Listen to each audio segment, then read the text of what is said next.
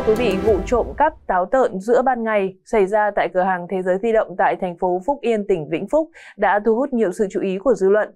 Tưởng chừng như hành trình lên máy bay để bỏ trốn đi thật xa, đối tượng sẽ không bị lực lượng chức năng phát hiện. Nhưng chỉ sau vài ngày, nghi phạm đã bị tóm gọn. Tại cơ quan công an, đối tượng đã khai nhận chi tiết về động cơ gây án và hành trình 72 giờ bỏ trốn từ Bắc vào Nam khiến cho nhiều người vô cùng phẫn nộ.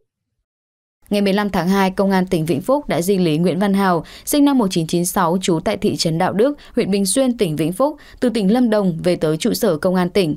Tại cơ quan công an, Hào thừa nhận hành vi cướp tài sản tại cửa hàng Thế giới di động ở đường Hai Bà Trưng, phường Hùng Vương, thành phố Phúc Yên, tỉnh Vĩnh Phúc.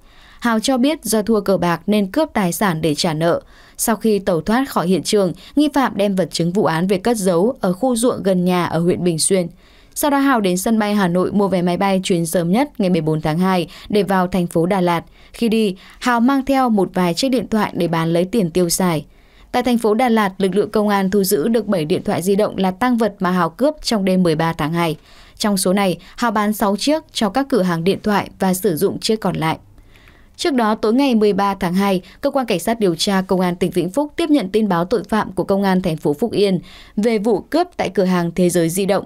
Nghi phạm sử dụng súng đe dọa hai nhân viên của cửa hàng rồi cướp đi 35 điện thoại di động các loại trị giá khoảng 441 triệu đồng và 65 triệu đồng.